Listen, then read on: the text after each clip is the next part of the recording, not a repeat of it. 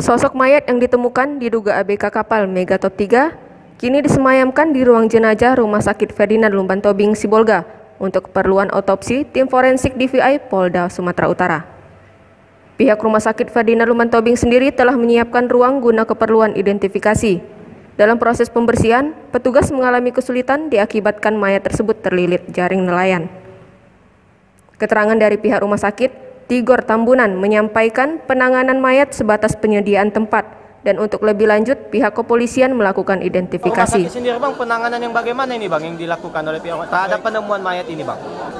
Jadi sementara ini kami dari petugas jenazah masih menunggu kehadiran tim DPI tersebut karena perlu dipastikan supaya jangan sampai muncul opini yang belum jelas. Maka sementara mayat jenazah kita amankan di ruangan penyimpanan jenazah. Sampai hadirnya tim DPI Polda Sul untuk memastikan keberadaan daripada mayat yang dibawa ke rumah sakit umum FLTB Sibolga.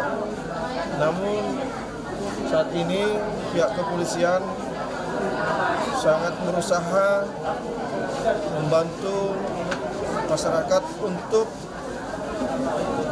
memberikan kesempatan kepada uh, keluarga korban untuk melihat jenazah secara langsung agar mereka bisa puas tapi melihat kondisinya sementara ini sama sekali tidak bisa dikenali jenazah karena sudah kondisi hancur ya. Di lokasi rumah sakit, petugas keamanan memberikan kesempatan kepada pihak keluarga untuk melihat sosok mayat yang ditemukan dengan silih berganti. Dari Sibolga, Putma Suryadi, N2S TV, memberitakan.